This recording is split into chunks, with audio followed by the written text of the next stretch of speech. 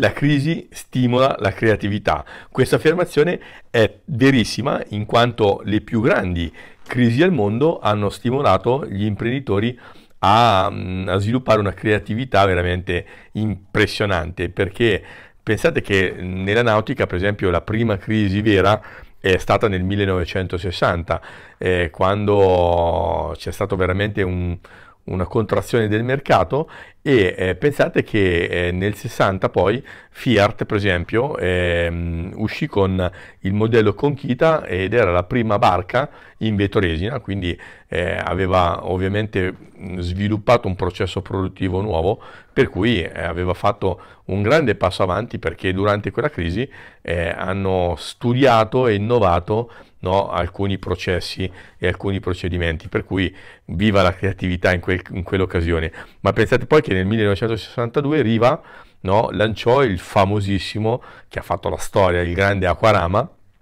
e eh, ovviamente era eh, l'acquarama, cioè era mm, proprio il simbolo della dolce vita, no? eh, costava, pensate, eh, soltanto 11 milioni di lire no? ed era considerato veramente un prodotto di nicchia eh, e aveva come, eh, come, spot aveva sole mare e gioia di vivere, quindi eh, faceva ben capire la finalità di questo prodotto. Era una barca di 8 metri, ma quella volta le imbarcazioni erano abbastanza più piccole di quelle di adesso e quindi eh, diventò veramente un prodotto usato poi anche per, come tender per uh, i grandi yacht e quindi eh, insomma eh, la creatività in quell'occasione anche di, di, del signor Riva eh, fu veramente eh, lungimirante e, e, molto molto creativo, forte. Quindi a volte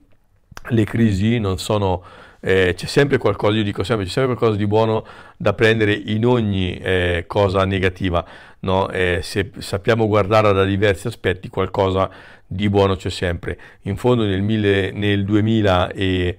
2010-2011 quando ci fu un'altra grande crisi italiana, personalmente eh, in quegli anni sviluppai un processo produttivo eh, nuovo che è un'infusione eh, eh ovviamente a stampi chiusi eh, e quindi anche quella fu una cosa che eh, venne fuori praticamente dal, eh, da una grande crisi, quindi si chiama LAP, quindi una laminazione ad alta pressione,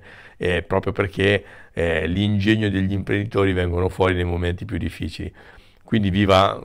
la creatività e eh, non dico viva la crisi perché qualche volta però è stata un'opportunità per molti di noi, quindi abbiamo saputo innovare, ma soprattutto i signori di Fiat e di Riva perché abbiamo fatto delle grandissime cose che poi ovviamente nel mondo sono diventati veramente eh, prodotti da eh, anche, invi anche, invidiati, no? sono prodotti veramente incredibili. Ciao ragazzi, buona serata.